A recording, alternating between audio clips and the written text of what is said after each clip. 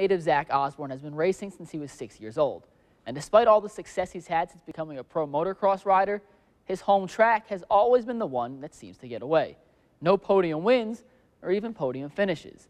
That was until this weekend at least, Osborne winning the second moto of the 250 class, the Tennessee Nationals at Muddy Creek Park, after finishing fifth in the first moto. That was good enough for a second place overall finish and his first podium ever at the track he grew up racing on. The win also extends his points lead. To, to you know get that win off my back and um, you know there's always a lot of people here that are cheering for me and and faithful to this place so I'm happy to, to give them something to cheer for and just um, overall a really positive day for me. The overall winner in the 250 class was Aaron Plessinger.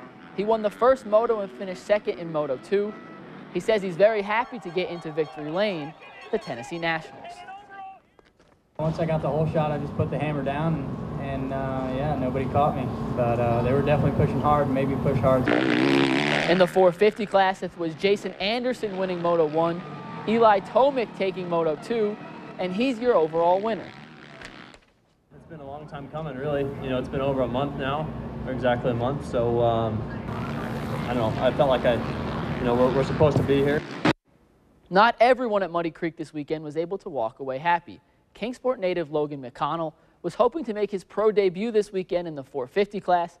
However, he came up just a bit short, but he says he's not disappointed. It's, it's a blast, you know, just just the reality hits you once you realize it. And, you know, there's no greater feeling than, than knowing you made it to the professional level. It's a really big step, and, you know, like I said, I'm just thankful to be able to walk away and train next week. The Appy League season is just a few days old, but there's been no shortage of excitement in the opening series between Johnson City and Bristol. The Cards getting the dramatic win in the opener and the Bucs returning the favor the following night. Let's get to the rubber match, though, in Johnson City. The Cardinals strike in the second, one on for Jonathan Rivera, who singles to second. The ball deflected by pitcher Braden Ogle. That puts runners in the corners for Wood Myers, who would also single to second. Tough play for Nelson Jorge, Everyone is safe. Luis Bandis comes home to score. No drama for the Cardinals in this one. They win 11 to 5. Let's take a look at some other scores in the Appy League. Elizabethton beating Danville 8 to 7 to take the series over the Braves, while Greeneville falling at home to Bluefield 7 to 6 in 11 innings.